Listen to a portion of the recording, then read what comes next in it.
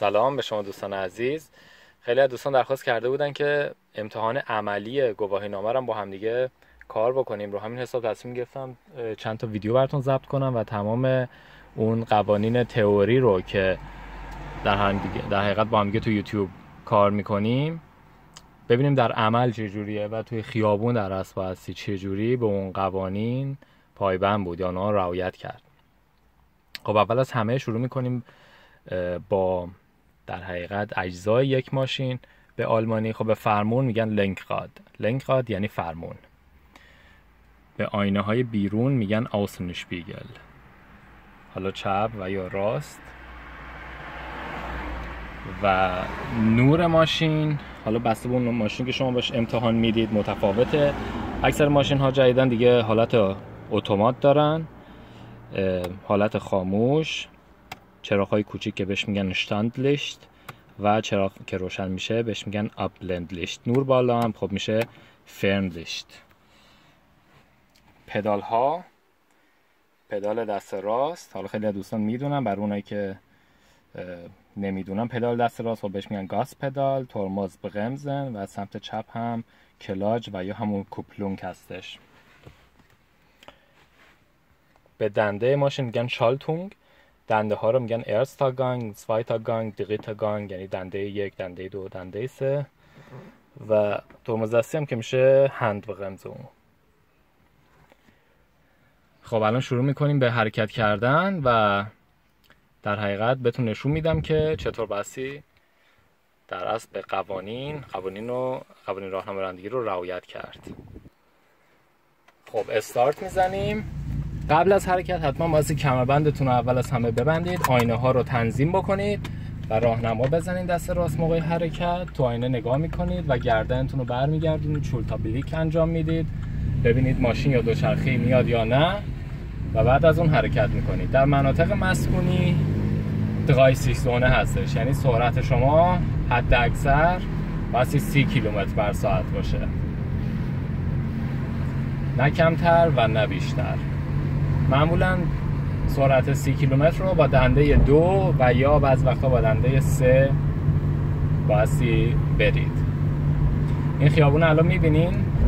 الان ما در گفتیم در قایسی زونه هستیم. این تابلوی که می‌بینید علامت اینه که نسبت به تقاطع بعدی حق تقدم دارید.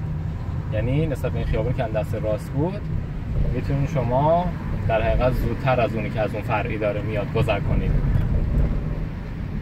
موقعی هم که آبر پیاده تو خیابون هست واسه خیلی احتیاط بکنید موقع رانندگی و سرعتتون رو کم کنید و به قمز بقایت باشید. یعنی آماده ترمز گرفتن. خب الان اینجا یه تقاطع داریم. به خاطر این ماشین ها دید ما کور شده. واسه همین باعث با احتیاط بیشتری بریم. نسبت به این خیابون دست راستم حق تقدم داریم. کماکان در منطقه قایسی زونه هستیم. اینجا علامت شوله هستش و یا مدرسه بچه ها اینجا بسی به زند از فوزیشتیش فقط. یعنی خیلی با احتیاط. این تابلو هم که می‌بینید پارک مطلقا ممنوعه. کسی اجازه نداره اینجا پارک کنه. خب الان می‌بینین جلوی ما یک مانع هستش. خب اگر ماشین از رو به رو بیاد به اون با حق تقدم بدیم شما اینجا وای میسید با فاصله. راهنمای سمت چپ رو می‌زنید. لحظه که ماشین های از رو به رو رد شدن چول تابلیک می‌کنید. چول تابلیک یعنی گردنتون رو میچرخونید و علاوه بر آینه نگاه می‌کنید که ببینید ماشینی یا دوچرخه چیزی میاد یا نه. اگه نیومد اون موقع اجازه دارید رد بشید.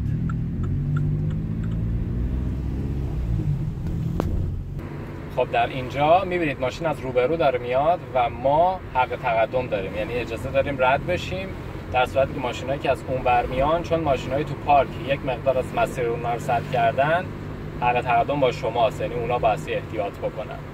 همیشه باید اول تو آینه نگاه بکنید. این سه کار رو باید حتما انجام بدید. ما می‌خوایم ببینیم دست راست آینه رو نگاه می‌کنید. کسی نمیاد راهنما می‌زنید شولتابیلیک یعنی برمیگردید سرتون رو پشت سر رو نگاه می‌کنید. ببینید ماشین یا دوچرخه یا آبری میاد یا نه. و بعد عبور می‌کنید. الان اینجا نگاه بکنید.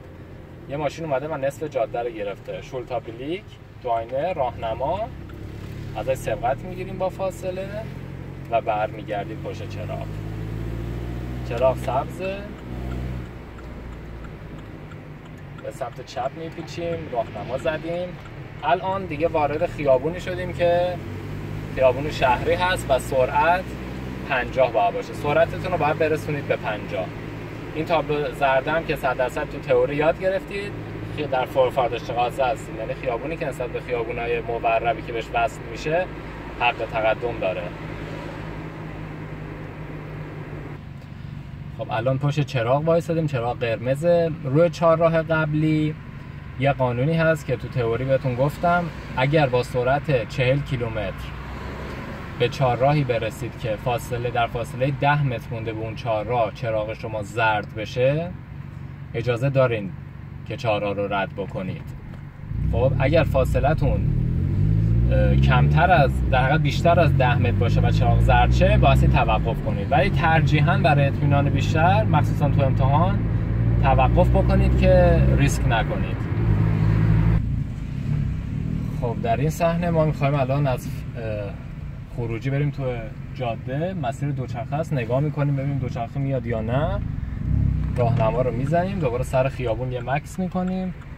ماشین داره میاد. حق تقدم با اوناست. ما که ماشین نیست اجازه داریم وارد خیابون اصلی بشیم. خب الان اینجا به خط آبر پیاده رسیدیم. باسی توقف با کامل بکنید. آبر رد بشه با فاصله. دنده رو می‌زنید دنده یک و ما که آبر پیاده رد شد و چپ راست رو نگاه کردین که کسی نبود به مسیرتون ادامه می‌دید. خب اینجا وارد خیابون بغلی می‌خوایم بشیم. این تابلویی که می‌بینین رعایت حق تقدمه.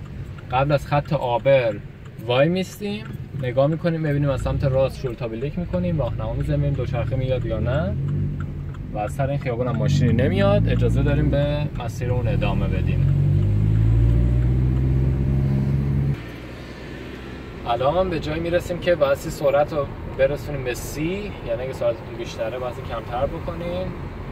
بسته به نوع خیابون باعثی دقت بکنید که چه سرعتی مجازه. همیشه باعثی به تابلو نگاه بکنید که تو اون مسیری که دارید میرید سرعت مجاز چقدر هستش.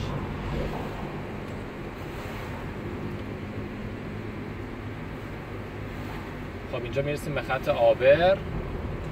باید اینجا یه مکس بکنیم سرعت رو کم بکنیم چپ و راست رو نگاه کنیم. اگر آبر نبود اجازه داریم رد بشیم.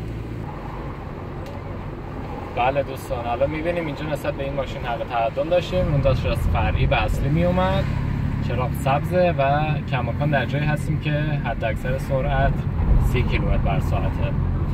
امیدوارم از این ویدیو لذت برده باشین. تو ویدیوهای بعد با هم دیگه شرایط مختلف رانندگی رو کار می‌کنیم. به طور مثال تو اتوبان میریم تابلوهای مختلف خیابونهای یه طرفه یا دو طرفه و در از تمام مواردی که براتون احتمال داره تو امتحان گواهی نامه پیش بیاد رو با هم دیگه کار می‌کنیم.